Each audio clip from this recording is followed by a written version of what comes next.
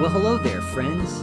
You're listening to Mastering the TASC Exam with me, Mr. Abe Tasconi. Today's TASC science lesson is ecosystems and organization.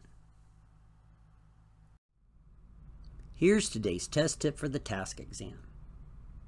Don't stay quiet when you're in class. Ask your teacher lots of questions. You'll want to make sure you understand the information being presented. I guarantee you the questions you have are shared by other students in your class. By becoming a leader and speaking up, you'll not only help yourself, but you'll also help your fellow classmates. So today we're going to talk about the importance of community. Communities are important because it allows individuals within a specific area to help each other and provide support as a collective group. Throughout history, communities have made the impossible possible. Communities have helped large numbers of people survive the most terrible things, either natural or human made.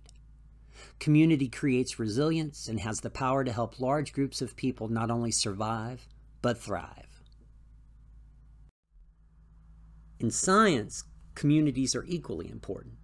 These communities are called ecosystems. An ecosystem consists of an area where a large number of plants, animals, and microorganisms live, along with their physical environment, which would include things like soil, air, and bodies of water. Now, the Earth is one massive ecosystem. It's known as a biosphere, which is really just a fancy way of saying it's a world in which various life forms exist together. While the Earth is one large ecosystem, there are smaller ecosystems, things like ponds, meadows, and woods, contained within a biosphere. For an ecosystem to be healthy and happy, there needs to be a lot of diversity within these smaller communities. To understand this concept, we have what's known as a food web. A food web contains all of the various organisms within a particular ecosystem, and it shows the feeding relationship of all the organisms that live there. A food chain is just one link or path for energy in a food web. The arrows on a food web and food chain represent the transfer of energy.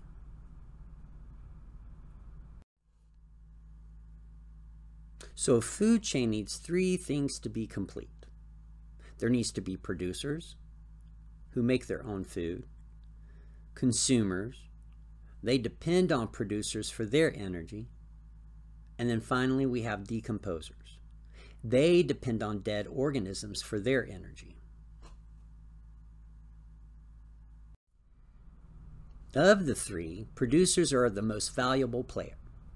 So remember back on the video about plant and animal cell processes? Thanks to the sun, plants produce their own energy. That's why we call them producers. Consumers depend on producers. Consumers would include things like insects and animals. Even if an animal doesn't eat plants, it eats insects or other animals that have eaten plants. Without producers, there'd be no consumers, which means there'd be no us. Last but not least, we have decomposers. Decomposers are living things, such as bacteria, fungi, insects, and worms, that feed on plants and animals that have died, and then breaks down the plant and animal matter into simpler substances. So now that we know the three things needed in a food chain, Let's look at the food chain on the right. At the bottom, we have the plant, which is the producer. Remember, producers get their energy from the sun. The grasshopper is a consumer. It gets its energy from eating the plant.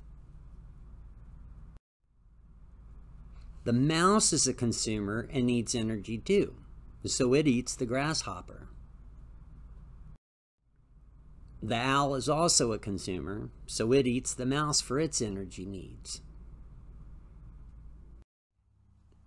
Now it's time for the decomposers, which are the cleanup crew, to step in and get their energy. So when the owl dies, the decomposers feed on the body of the dead owl. They do this until the body is broken down and returned to the soil. It's all about balance. Removing just one species from an ecosystem disrupts and destroys nature's balance within that community. I encourage each of you to research nature conservation. Each of us have an important role to play in making sure the world around us is happy and healthy. And that, my friends, is nature's version of community called an ecosystem. All right, you know the drill. Go back and rewatch this video until you feel comfortable with the information that was discussed today. Also, don't forget to click the link in the description box to take you to the Quizlet over today's lesson. Remember, always ask questions in class. It's time to be fearless and become the leader that you were born to be. Stay safe, friends, and keep on studying. I'd like to thank Chris Matthews for providing the music for this program to Valerie Jeffers for co-producing, to Marian University and the Blue Umbrella for making this series possible, along with all the other teachers, townships, and adult basic education programs who help inspire adult learners reach for the stars. Mr. Abe Tasconi is the alter ego of me, David Taylor. If you have any questions about the TASC exam or if you'd like to try some more of my quizzes, please email me at tasktestquestions at gmail.com. This has been a Jeffers and Taylor production. See you next time.